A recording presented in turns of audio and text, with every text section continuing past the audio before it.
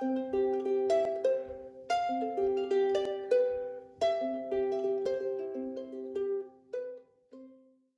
there, boys and girls. Wow, you know, I, I know all of you are at home. We're all trying to stay safe and do our part in keeping our island safe. And my wife had a great idea. She says, why don't we do something since you folks are home, you can't come to your lesson. So let's say that all of you out there, especially the young ones, you know how to strum C, you know how to strum F, and you know how to strum G7. Well, that's all you have to know for now.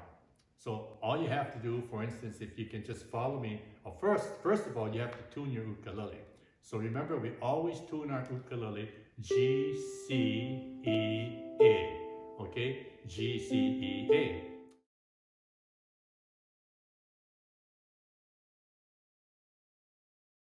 You're to strum, if you can do this, C, one, two, three, and F, one, two, three, G7, one, two, three, and C. One, two, three, okay. Now, if your mom or dad can play the ukulele, they can strum those chords. And I'm gonna teach you something that you can pick. Okay, it's not a song, it's just something, it, it's, it's like a practice thing that you can use. So, you know how we always teach you folks to put your ring finger on C or your ring finger on G, your pointer finger on F, your middle finger on D, because it makes it very easy to play the notes without always looking at your fingers. You know, well, what we're going to do in this case, this being your index pointer finger, you're going to place your pointer finger where you pick G. So you're not going to use your ring finger. You're going to put your pointer finger on G, right here.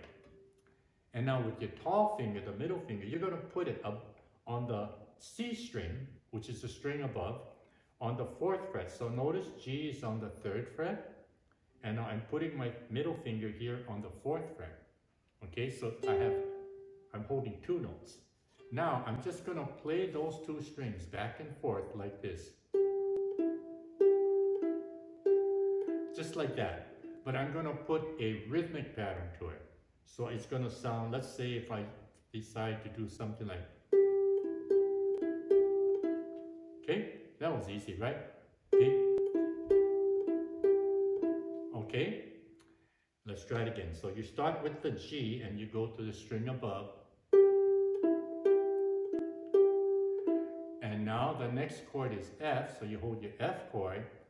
Now you're going to play the bottom two strings, so you're going to hit the A first, and the string above A that you're holding is F. You're holding your F chord. This is your F note. Okay? So you're to play the same thing like this. Okay, so the rhythmic pattern would be See? So the first one again was the pointer finger on G, the middle finger on the fourth fret,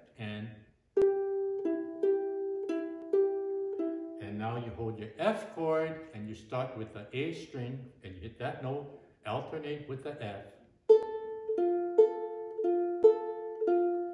And now you're not going to hold G7 even if what you're playing is related to the G7 chord. So if daddy or mommy is strumming G7, you're going to play this. You're going to put your pointer finger now on B. Normally you, put, you use your tall finger, middle, but I want you to put your pointer finger here.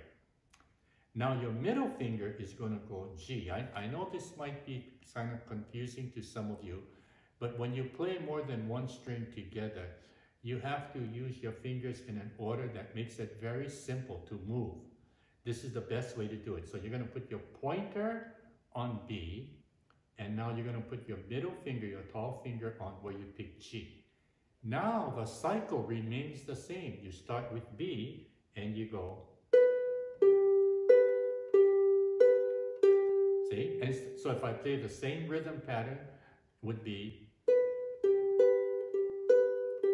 Okay? And now C, which is the next chord, you just put your finger on C and you pick C once, and now you strum it twice. Strum, strum.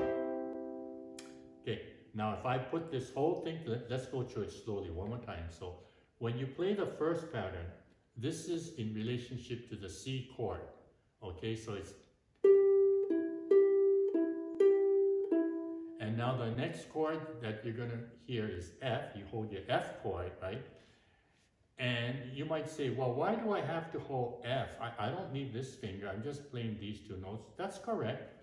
But it's a good habit. You might as well learn to hold F. Because later on, I can utilize this and show you something different. All right, so now we do the same thing. Now the next fingering, when you put your pointer finger on B and your middle finger on G, this is in relationship to G7 and it's going to be and now you end by picking C and you strum twice. So if we were to play uh, if I could strum you could play it but for now I'm going to play it with you. So if I say one two three begin and you're going to start playing this okay? But before we do this one last time I'm going to show you something. Watch.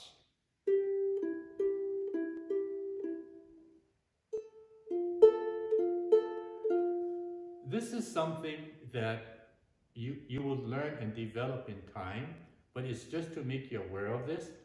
Mostly everyone, amateurs and everybody, when they do this, if they were to do something like this, they lift their fingers and come to F. Or they'll play like this. Now they have to lift and move their thumb and to come here to this chord. But notice when I move, I just slide. Watch. Now look at this. I slide. I, I, I didn't even let go of the strings. And now I come to the next fingering. C, strum, strum.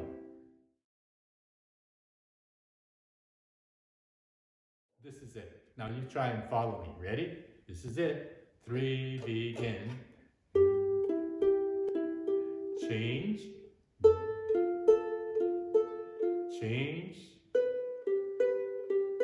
And now you pick C. Strum, strum. So just have daddy and mommy strum C four times, F four times, G7 four times, C four times, and then you take it away. Ready? two, three, here we go.